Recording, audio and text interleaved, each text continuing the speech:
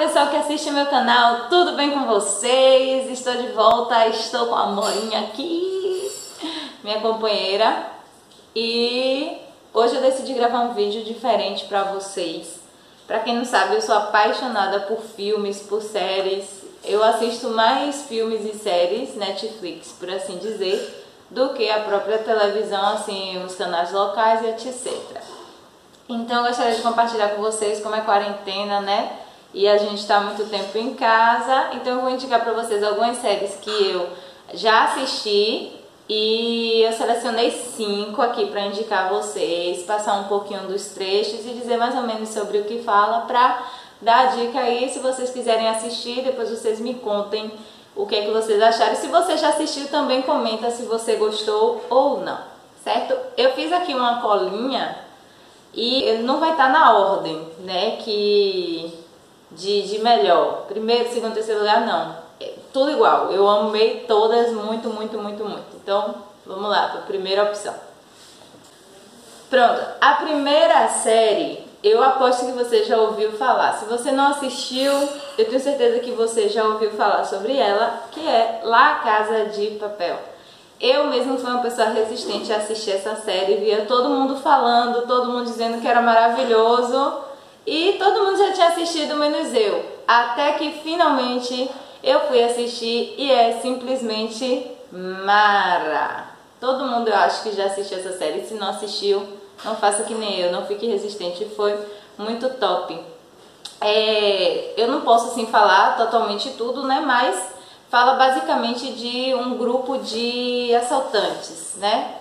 Muito bons com um plano mirabolante, estratégico incrível que ao invés de você ficar do lado certo de torcer, né, para que eles não consigam, a gente fica do lado dos bandidos, por assim dizer. A gente quer que eles consigam realizar, né, o assalto que eles arquitetaram e a gente fica muito apegados aos, aos participantes, como meu Deus, aos atores. A gente fica apegados a ele quando vai morrendo alguém, nossa, é uma tristeza que, meu Deus. Eu vou deixar um trechinho aí só para vocês terem uma ideia mais ou menos e vamos agora também para a segunda opção.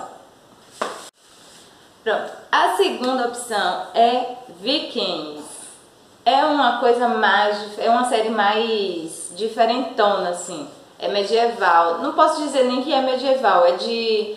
que retrata o, a época viking, a era viking, né? Que tem aquele, aquele povo que luta com espada, com muito sangrento, que faz alguns. É, relata alguns rituais até que eles faziam na época e sim retrata realmente a história verdadeira dos vikings, como eles viviam, o que eles comiam é, e as guerras que eles, eles faziam né, para conquistar território. Se você não gosta de ver sangue, se você não gosta de ver luta de espada, não é a série para você assistir.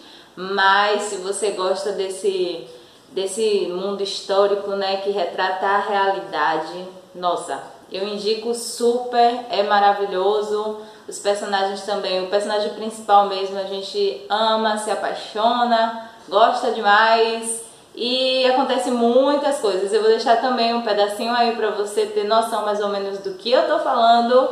E se você não gosta pelo trailer aqui, então você nem assiste, mas as amantes de história, ó, assista que vale super a pena.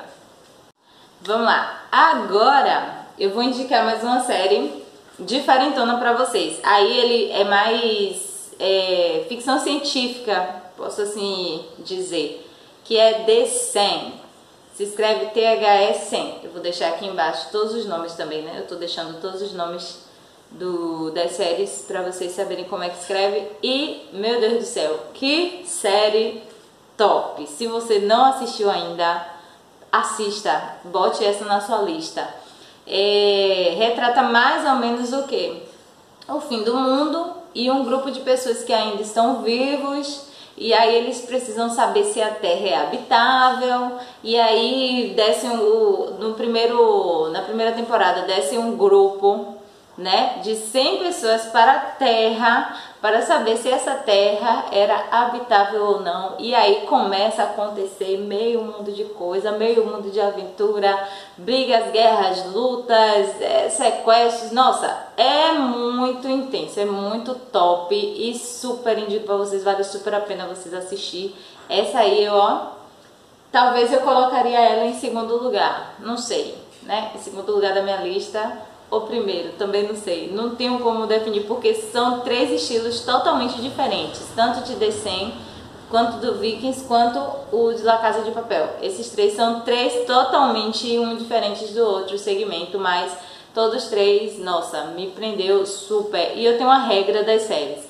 Se eu assistir o primeiro episódio e já não me prender para eu querer saber o que, é que vai acontecer no, no, no próximo capítulo, eu já nem assisto mais. Então, esse é daquele que você já assiste o primeiro episódio e você já quer assistir os próximos e os próximos, e aí quando vê, já foi, já lhe prendeu.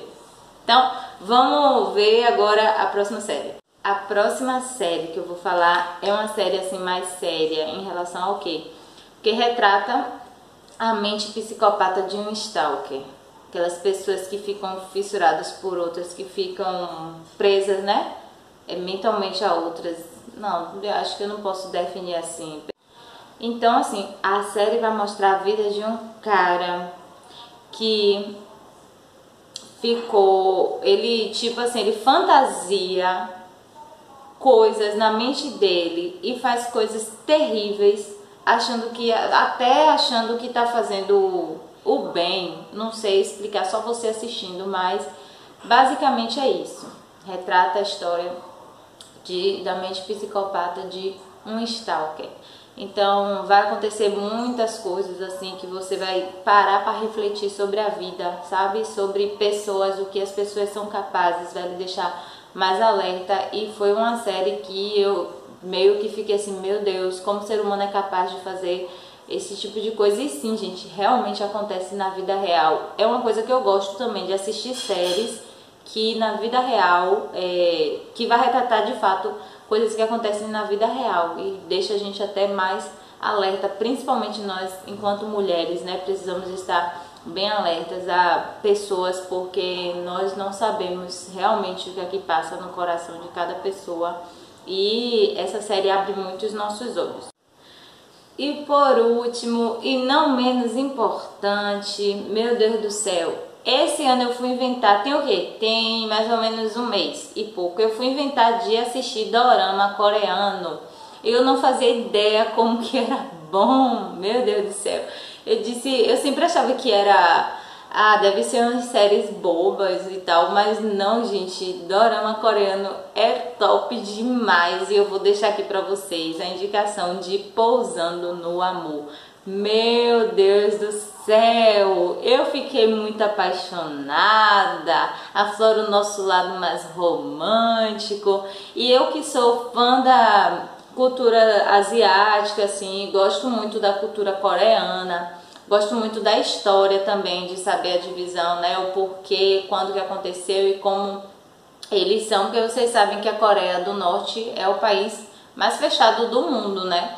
E assim, essa série retrata exatamente isso: a Coreia do Norte e a Coreia do Sul, duas pessoas, um militar da Coreia do Norte que se apaixona por uma empresária da Coreia do Sul, e aí eles não podem ficar juntos, mas acontece tanta coisa. Oi, gente, é a coisa mais linda, gente. Assiste essa série, pelo amor de Deus. Eu deixei ela por último por ser totalmente fora do que a gente está acostumado, mas meu Deus do céu, que série encantadora, que série emocionante. Eu chorei. Eu chorei tanto nessa série. Eu nunca vi chorar tanto assistindo uma coisa assim, já teve filmes que me fez chorar, mas essa série fazia eu chorar quase todo dia, misericórdia. Vai ver também, eu tô meio sentimental esses tempos, né? Mas eu posso dizer pra vocês que foi muito massa, velho. Então, fica aí a dica, Pousando no Amor, a série do amor, a série maravilhosa, a série uau! Eu amei essa série, velho. Então, gente, esse é o vídeo de hoje. Espero que vocês tenham gostado. Espero que vocês assistam. Se você já assistiu alguma dessas, comenta aí embaixo. Se você não assistiu, vai assistir. Me diz aí também e é isso, eu, eu listei cinco séries diferentes para também se adequar ao gosto de cada um de vocês, né? Se você não gosta de uma coisa sangrenta, tem essa coisa mais romântica. Se você não gosta de romântico, tem a ficção científica. Se você não gosta de ficção científica, tem aquele que relata mais a vida real e tal. Então é isso aí, gente. Espero que vocês tenham gostado e beijo, se inscreva no canal, é, clica aí no sininho para ativar as notificações, deixa o seu like, compartilha com os amigos e é isso aí, tchau!